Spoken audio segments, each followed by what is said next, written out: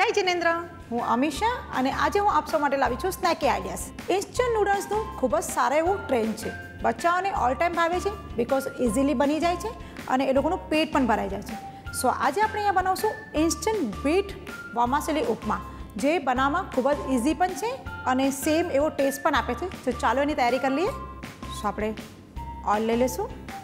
આપણું ઓઇલ ગરમ થવા લાગ્યું છે. આપણે એની અંદર અડદની દાળ એડ કરશું. અને એને ગોલ્ડન થવા દેશું.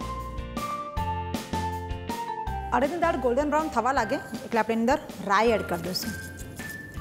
આપણો રાઈનો વઘાર પણ અહીંયા થઈ ગયો છે. હવે એની અંદર આપણે લીલા મરચાં એડ કરશું. થોડા ફ્રેશ કઢી પત્તા થોડા શેંગદાણા. અને મિક્સ કરી લઈએ. હવે એની અંદર આપણે ટોમેટોઝ એડ કરી દઈશું. હવે એની અંદર આપણે પાણી એડ કરી દઈશું. સો આપણે મસાલા કરી લઈએ અંદર. એની અંદર આપણે થોડી હળદર પાવડર લેશું. લીલા મરચાં તો આપણે એડ કર્યા છે, પણ જસ્ટ થોડું લાલ મરચું પણ આપણે એની અંદર એડ કરી દઈશું. અને સ્વાદ પ્રમાણે અંદર મીઠું એડ કરશું. હવે આપણું પાણી બોઇલ થાય, એટલે આપણે એની અંદર આ ઘઉંની ઇન્સ્ટન્ટ સેવ એડ કરી દઈશું. તો આપણું પાણી આ બોઇલ થઈ ગયું છે, અને હવે આપણે આ ઘઉંની વમાસીલી છે એની અંદર એડ કરી દઈશું.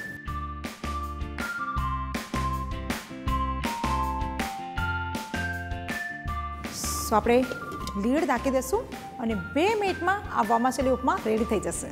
સો બે મિનિટ થઈ ગઈ છે અને આપણું આ વમાસેલી ઉપમા પણ તૈયાર થઈ ગયું છે. હવે એની અંદર થોડું આપણે લીંબુનો રસ એડ કરશું. જસ્ટ હલકી મસ્તી ખટાશ માટે. એન્ડ લાસ્ટમાં આપણે એની અંદર ફ્રેશ કોરિયન્ડર આ રીતે એડ કરીને એને હલાવી લેશું. સો રેડી થઈ ગયું છે. Instant vermicelli upma. જલ્દીથી આપણે એને પ્લેટમાં સર્વ કરી લઈએ.